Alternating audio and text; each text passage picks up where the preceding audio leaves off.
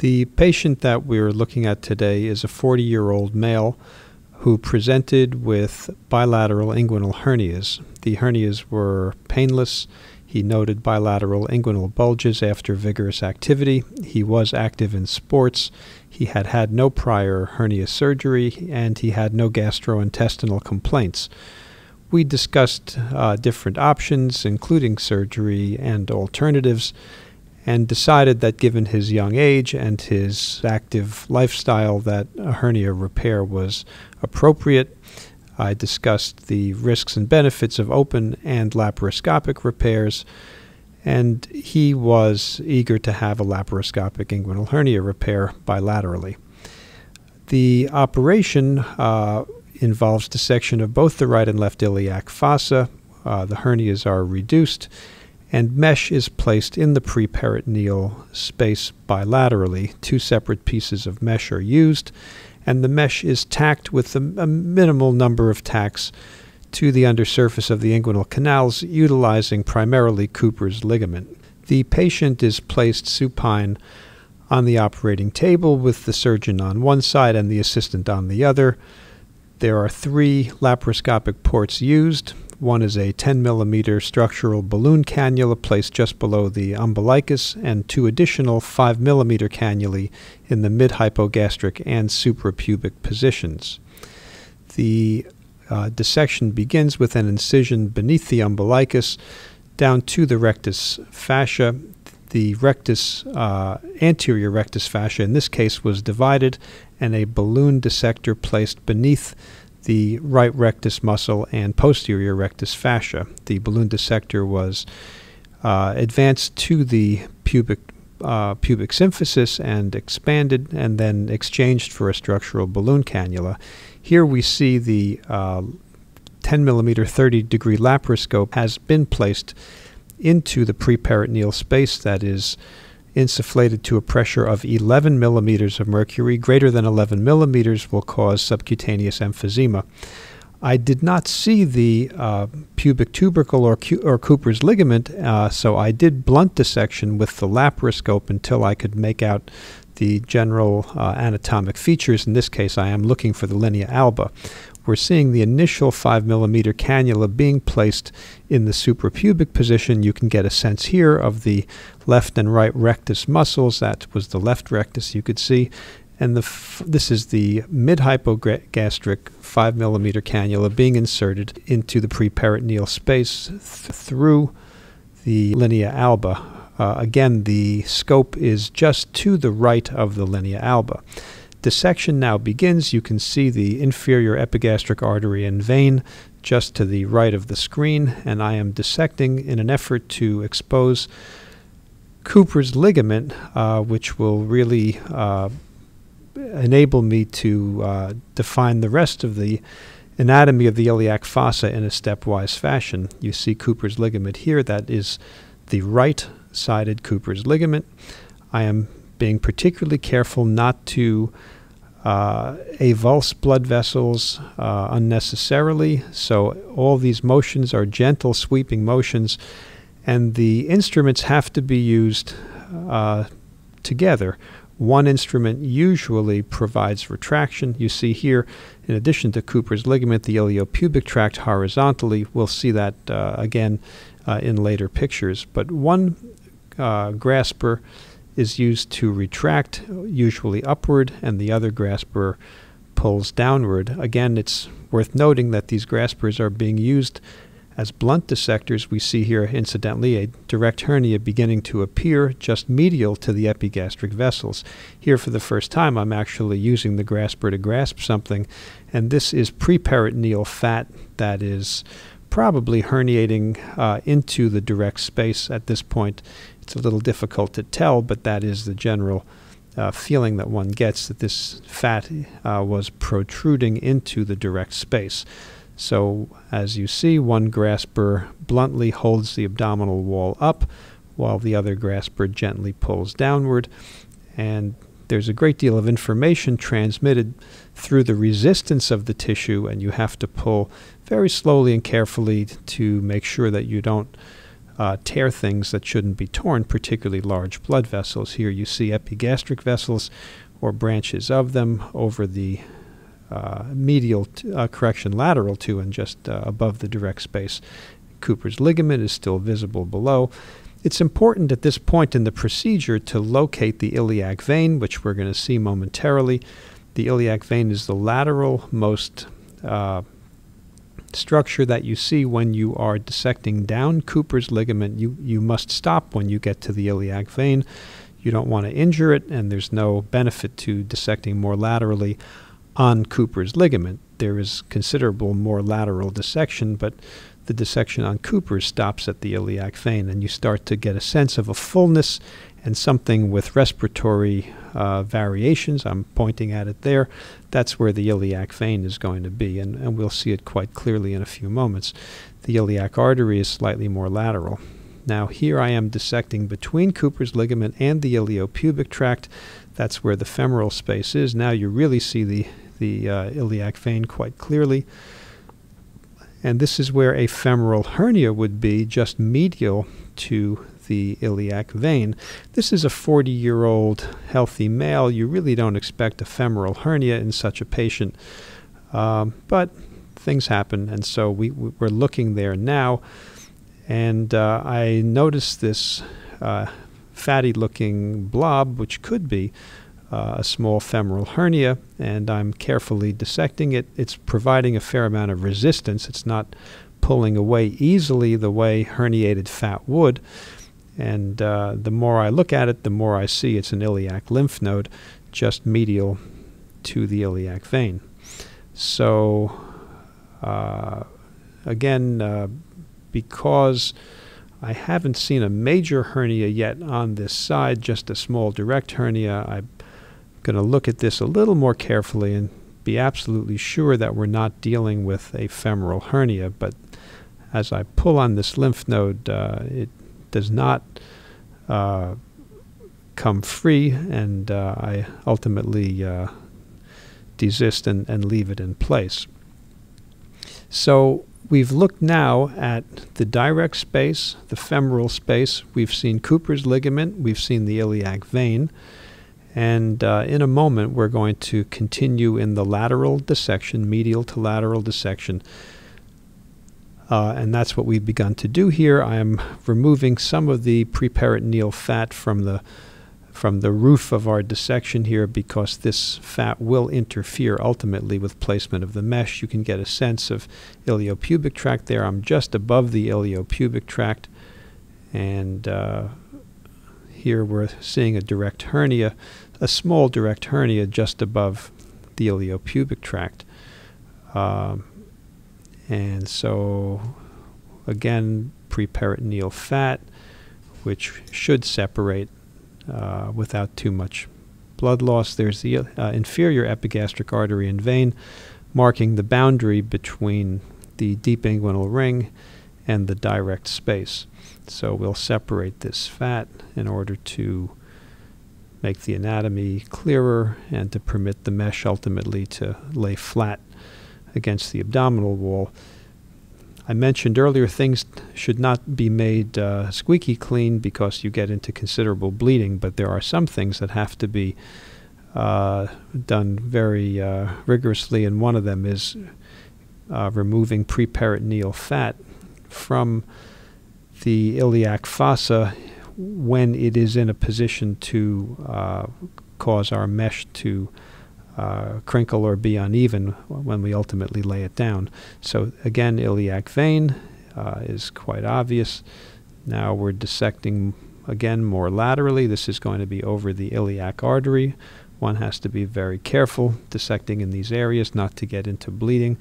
There are branches, small branches coming off the major vessels that can bleed very heavily uh, and be quite hard to control. So this is an area where caution needs to be exercised.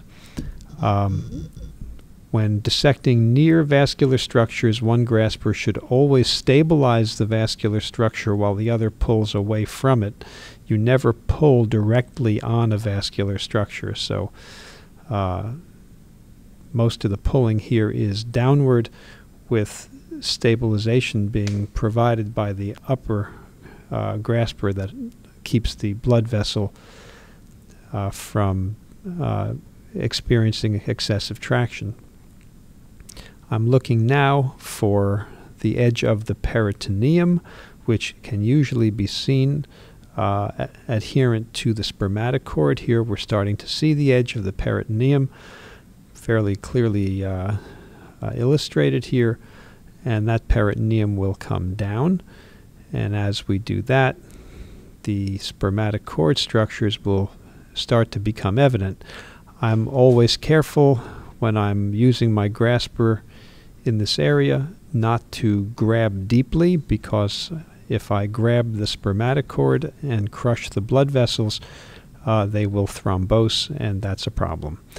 Uh, the first structure that we see here of the spermatic cord is the vas deferens. Uh, that usually is the first thing that one sees because it is relatively large and uh, usually uh, bright white. So there is the vas deferens, and I have the peritoneal membrane below. And now I'm going to look a little harder and see if I can find the blood vessels of the spermatic cord. They should be uh, associated with that mass of fat just above where I'm grasping now. So I pull peritoneum down, I keep an eye on vas. I try, try not to grab the spermatic cord and I'm looking the whole time to see where the vessels are. Here I notice that there is a space where I can get my dissector behind the spermatic cord even though I haven't seen all the vessels clearly yet. Uh, this clearly is the spermatic cord with the adherent peritoneum. You get a sense of vascular structures. They are running uh, with the fat and we will see them much more clearly in a moment.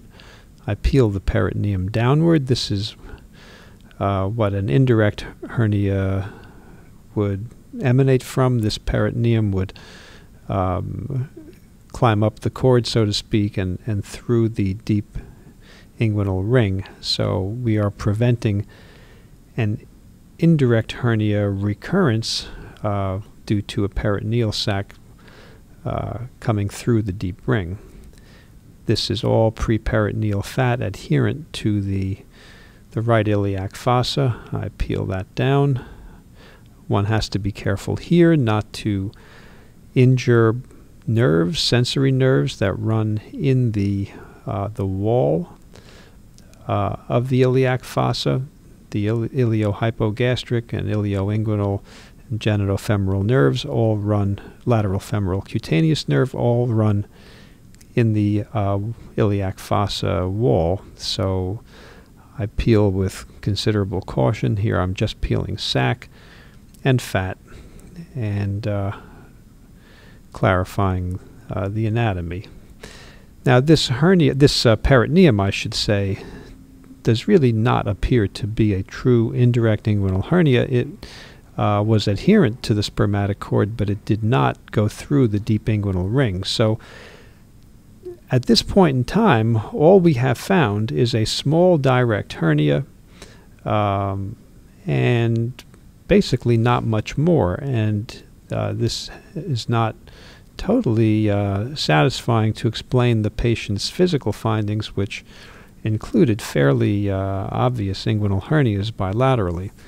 But this is what we have seen so far, so this is what we have. You can see uh, iliac vein once again and iliac artery right next to it with the spermatic cord laying over the iliac artery. Uh, I'm taking the time to peel this fat down because, uh, as I have said repeatedly, the mesh repair that we will do at the end of the dissection uh, needs to hang loosely and in an unobstructed way, and this fat will be in the way. I'm looking once again uh, at the femoral space. There's the lymph node we spoke of. Iliopubic tract is just above. That's also known as Poupart's ligament when you see it from the outside during an open inguinal hernia repair. And here we see the small direct hernia that was discovered uh, at the beginning of the operation. Uh, not a very big direct hernia, but a hernia. Uh, still uh, difficult to correlate the patient's preoperative uh, findings with a hernia this small. Uh, now that we have completed the dissection of the right iliac fossa, we turn and do an identical dissection in the left iliac fossa. So you can see to the right of the screen our previous dissection. We're going to find Cooper's ligament on the left side. Uh, that will be the first thing we do. Uh, Cooper's ligament will lead us to epigastric vessels and the iliac artery and vein, and we'll pretty much recapitulate on the left side what we just did on the right side. Uh, the bladder is beneath us in that uh, uh, fatty tissue below, so we try not to poke into that.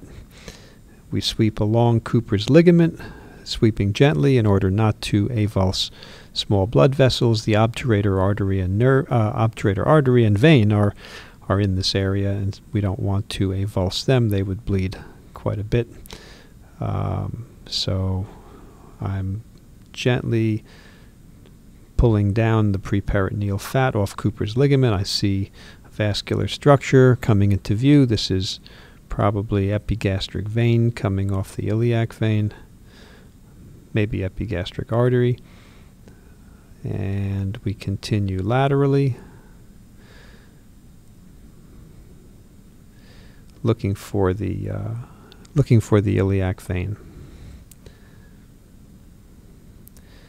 Once again, uh, it's worth commenting that one has to pay very careful attention to the resistance that you encounter as you pull and peel, uh, making sure that you don't uh, use too much force. Now we see the spermatic cord on the left side.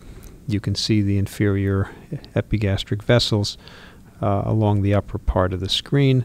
Once again, we dissect laterally and medially around the cord, and then we encircle the cord using the graspers the way we would during a traditional open inguinal hernia repair.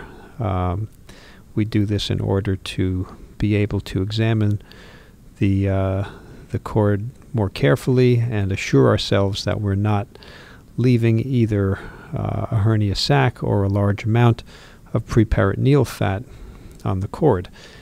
Now, recent studies have shown that the most common cause of recurrent hernias after laparoscopic inguinal hernia repairs are uh, or is the persistence of preperitoneal fat um, in the inguinal canal. Another way to say that is the failure to remove preperitoneal fat from the inguinal canal after a laparoscopic repair leaves patients uh, symptomatic if that is what was causing their hernia symptoms in the first place.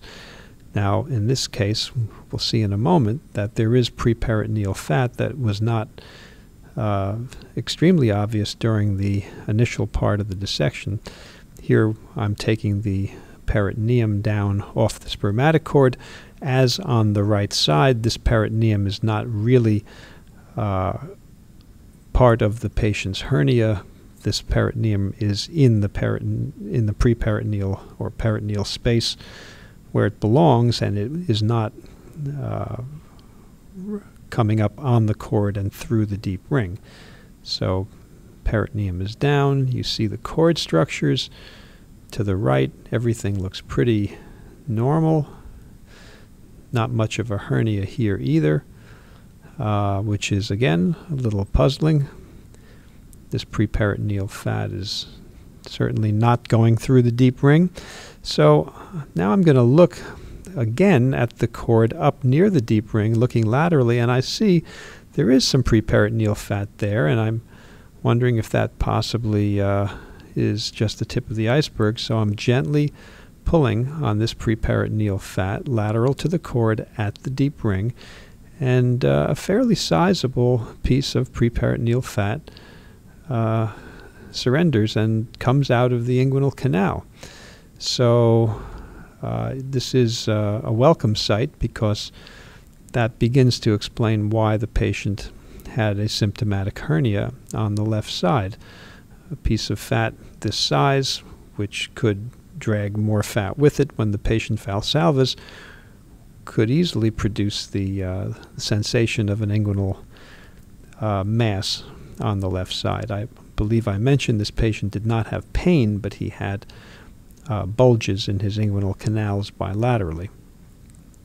So now I'm going back to the right side, having found what I found on the left side, and I'm wondering if I missed uh, preperitoneal fat going through the uh, deep ring on the right side.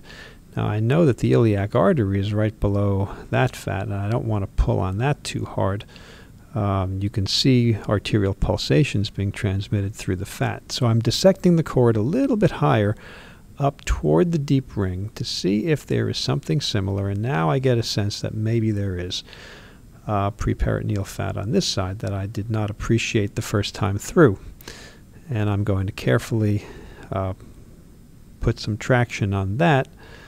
And uh, lo and behold, uh, we have the same thing on the right side. We have preperitoneal fat that extends into the inguinal canal and that is almost surely what was uh, causing the patient to have bilateral inguinal bulges. So he didn't have hernia sacs, he had preperitoneal fat uh, of sufficient quantity to uh, be palpable and to make a bulge.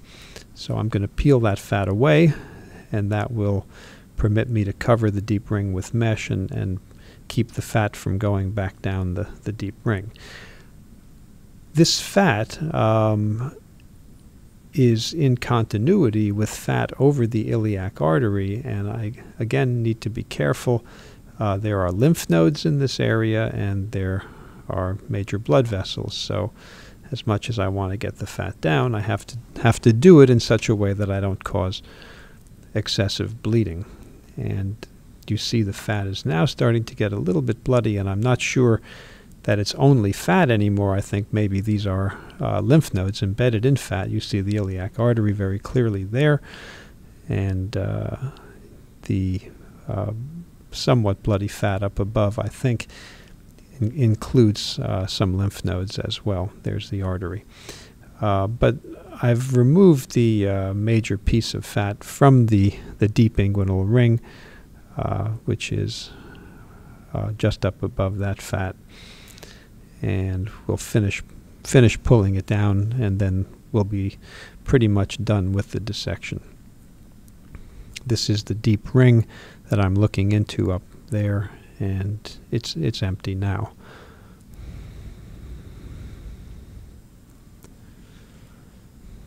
So with this fat reduced and uh, reduced bilaterally, now we are just about ready to do the reconstructive part of the operation, which is to place polypropylene mesh in the preperitoneal space beneath the inguinal canal bilaterally. This is uh, the mesh. It's a 6 by 4 inch piece of medium weight polypropylene. I don't think it matters what orientation you place the roll in as you push it into the preperitoneal space.